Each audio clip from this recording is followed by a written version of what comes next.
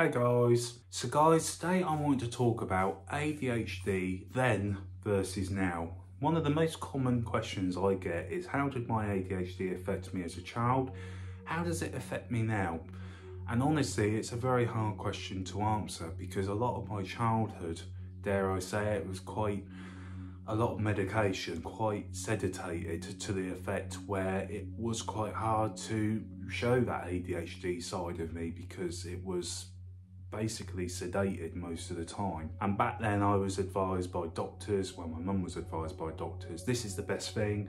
And back then I don't think they really had a real handle on it like they do now. There was times in my life where Max was on too many pills and Max was very sedated in zombie-like mode and those decisions from my mum was like, right, we need to get him off then because yes, he's a lot more behavioural, better in class, but he's not there. You know, he's zombified. He's not. He's not there. He's not learning. He's just sedated. And even though at the time doctors was like, well, you know, we we, we advised my mum would say no, you know, he needs to come off it. It's not him. It's not him. And I think still parents sometimes in today's world are faced with that. It can be quite hard. But how ADHD really affected me as a kid was I did find it hard to pay attention. I was quite hyperactive. I remember not being able to sit still, you know, rock my knee. I remember having to run everywhere. I remember running onto my mate's trampoline and just jumping on it, refusing to get off know, I remember being quite hyperactive. I had a lot of energy in me that I needed to somehow get out. And, you know, when I went on the pills, it was quite difficult because I remember having that energy, but still not, not being, like, not being able to use it. And, and my example was I, I had that energy, but I, I, I wouldn't feel that energy during the day like I needed to run off and go on a trampoline and stuff. Instead, what was happening was, and I always remember, big fan of wrestling, I, I would be able to stay up throughout the night, watch the wrestling, and be able to stay up most of the nights, you know, from 12 o'clock to, you know, 4 o'clock onwards, and I wouldn't be tired. I could just watch it and consistently watch it and not fall asleep.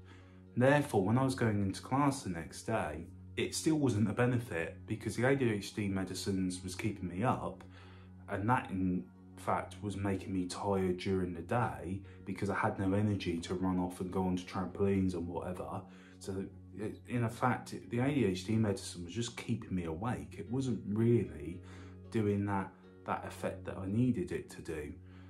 But I was quite energetic and I was I found it quite hard to pay attention and I'd much preferred looking back to have things like cognitive behavioural therapy, a lot more of that than going on the pills because when I went on the pills it caused me to have a side effects of Tourette's so I then developed tics and throughout the years as well later on they think that the ADHD medicine could have had a side effect on my seizure threshold meaning that I then later on had a fit.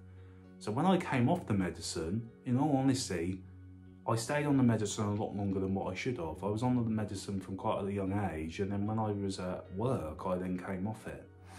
And I didn't see a lot of difference. The only difference I saw, in all honesty, was I talked a lot more and I rocked my leg a lot more and, and had those sort of little stims that an autistic person would have as well. But I, I couldn't find myself sat still quite a lot. Apart from that, I can I can lose attention every now and again but apart from that, I've got a pretty good handle on it now. But what I found out the other day was there was a whole year that my dad banned me from Coca-Cola because he felt it was making me hyper.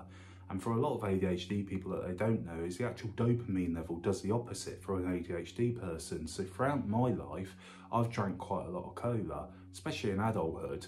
And actually what I've learned in that time is it's actually doing the opposite side effect to what it will do for neurotypical people that is actually calming me down, is making me more tired in some cases.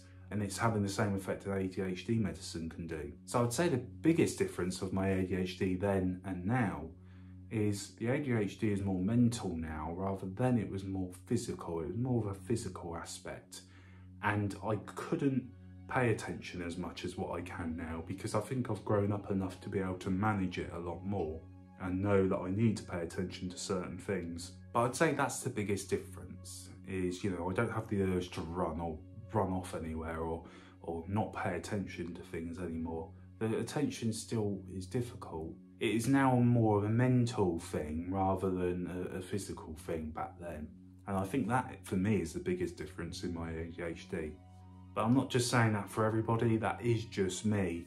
Guys, tell me what you think down below. And as always, thank you for watching. Take care. Goodbye for now.